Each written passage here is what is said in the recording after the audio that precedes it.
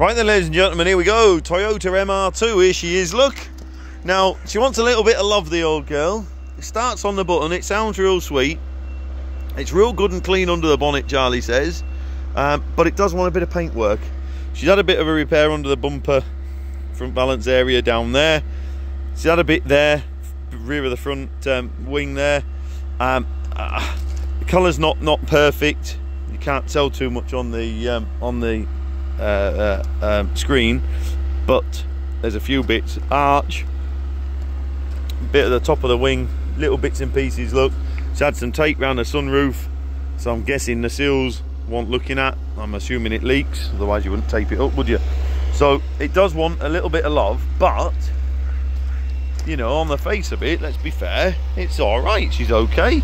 She wants a bit of paint down here, bottom of the arch down here. Look, there, look, bit on there. You know, there's just a few little bits.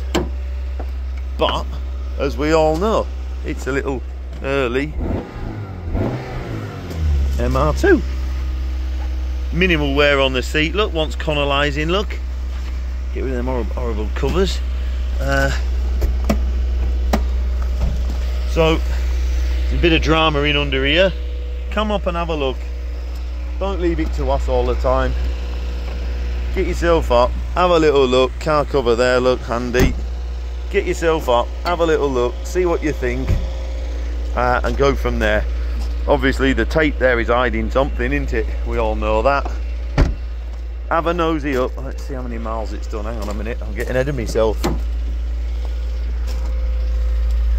96,000 miles, there you go, look. So it's not killed with miles. It's a little bit of a run it as is, or indeed a maybe an improver. So there you go. Come down, take a, take a closer look. Thank you.